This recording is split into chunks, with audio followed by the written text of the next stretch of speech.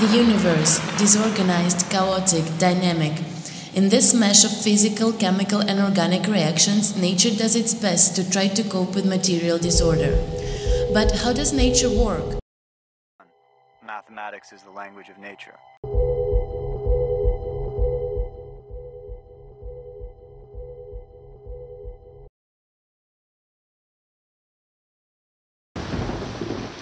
We must first understand that molecules and matter have peculiar ways of behaving in space. Nature follows simple rules that can generate strikingly complicated patterns. A fractal is a geometry which repeats itself on various scales, allowing a form to grow with similar structural characteristics throughout its totality.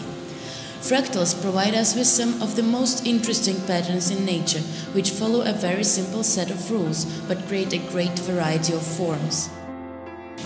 Trees are fractal structures, following one of nature's basic rules, the principle of less work. Growing its roots and branches in a fractal way is the best and quickest way to organize form to cover the greatest possible area in order to obtain more resources. Cracks are the opposite of trees. It is a way of reorganizing quickly and efficiently to an environment that is quickly losing resources. Fractals are just one of the numerous mechanisms nature can use from its toolbox.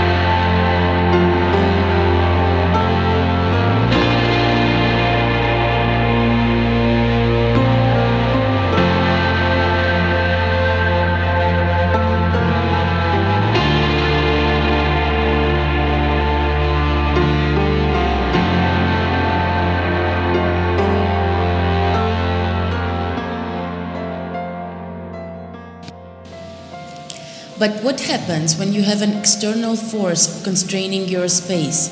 To fill up a plane with identical equal sided and equal angle cells, you only have three choices a square, a triangle, and a hexagon.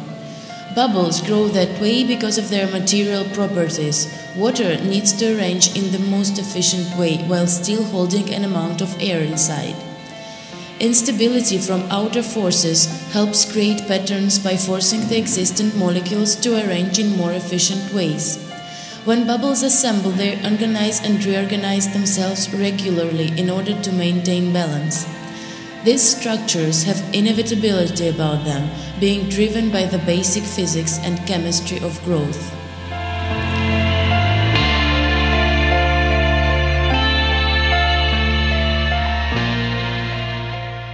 Bees. Organisms creating form by knowledge lack evolution of physical processes.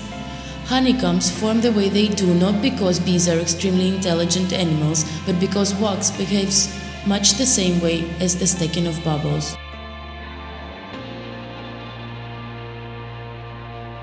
Grains behave similar to bubbles and honeycombs in that they follow physical laws.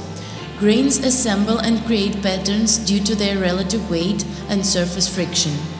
These examples illustrate how gravity combined with grains of similar characteristics create natural Voronoi cell patterns.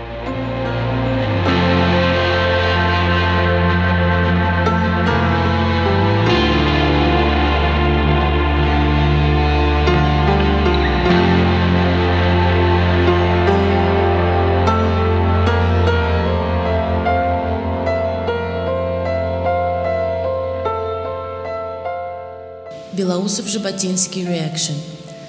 Chemical reactions help us to understand nature's behavior in pattern formation and introduces us to the actual way organisms grow. These reactions behave as if they were alive and organized, always knowing when and where to move. It is much more simple than that. There is a catalytic reaction happening, an activator inhibitor scheme.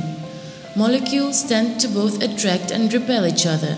When the ones that attract become too dense, they start repelling each other, giving way to a dynamic process. As long as there is energy, the reaction could grow indefinitely, continuously rearranging itself.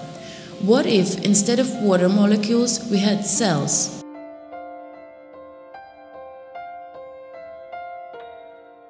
Can the complicated blueprint for our human shape really be imprinted on an embryo by chemicals that are blindly diffusing, reacting, activating, and inhibiting?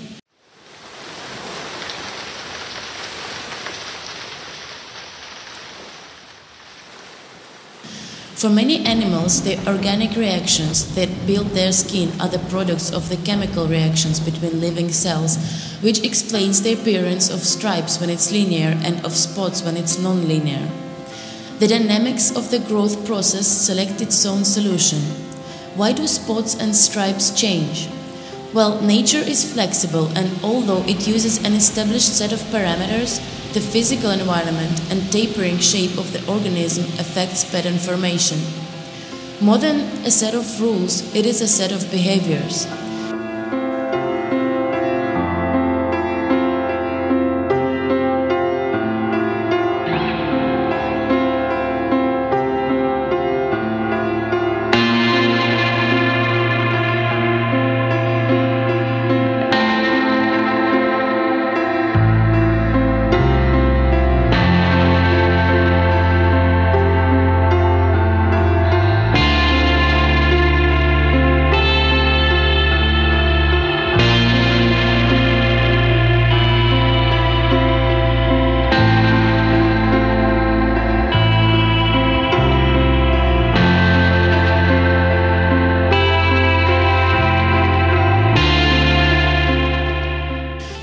Study pattern formation? The classification of pattern elements helps when we come to the question of how patterns arise, because it means that we can focus on basic symmetry systems and only afterwards worry about how these have become elaborated into distorted forms. Nature is indifferent to aesthetics. Pattern formation has a purpose. Its implications on the architectural practice are quite obvious, Parametric design and the exploration of different forms lead the way in today's technology driven world. Nature, however, provides us with a set of parametric design systems that have been tested time and again. The digitalization and understanding of these processes will lead to the ultimate goal of driving away from using patterns as purely elemental and into a more organic and informed world of parametric design.